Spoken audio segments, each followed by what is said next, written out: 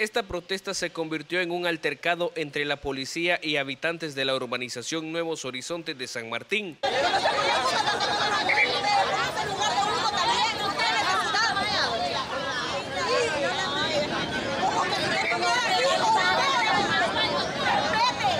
El descontento surgió porque los agentes retiraron un bloqueo sobre el kilómetro 14 y medio de la carretera panamericana que realizaron los manifestantes por la falta de agua.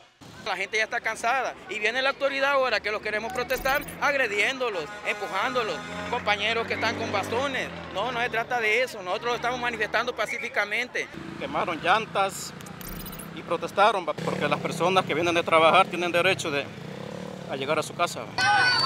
Estas familias aseguran que toman estas medidas de hecho porque desde hace 15 días no reciben el vital líquido y las pipas que envía ANDA no son suficientes para paliar el problema. Yo cuando ya bajo con mi barril ya no agarro agua, entonces es como que no tengamos agua y los piperos que le están mandando nos están maltratando. Un barril nos dan y ahí nos dejan esperando más. Con un barril, seis personas no se mantiene. Al final los manifestantes optaron por retirarse, sin embargo dejaron claro que continuarán con estas medidas si en las próximas horas no se normaliza el servicio de agua potable.